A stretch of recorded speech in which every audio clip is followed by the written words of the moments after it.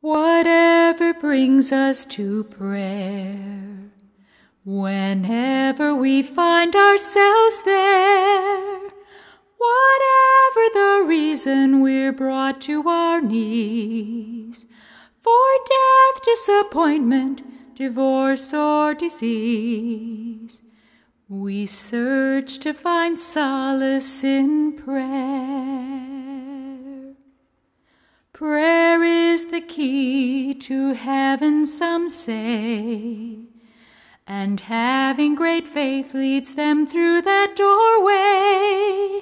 The faithful unfurl their petitions each day and recite their serenity prayer.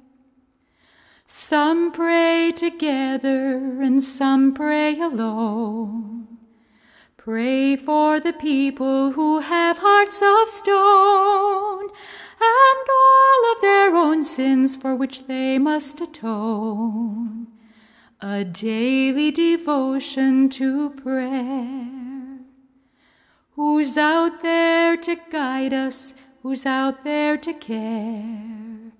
Is there anyone listening behind that star there?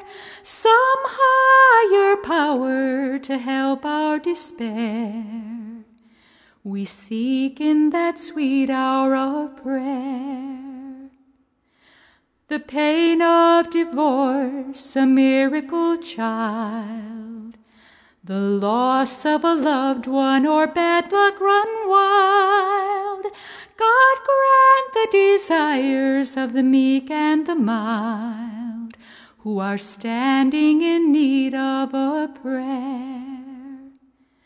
Words that have hurt us, rejection that stings, our own inclination to do evil things, all taken away amid archangel wings proving the power of prayer.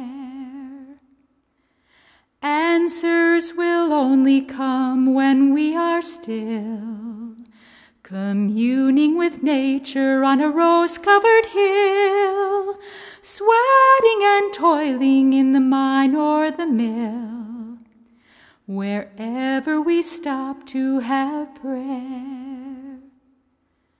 Whatever brings us to prayer, whenever we find ourselves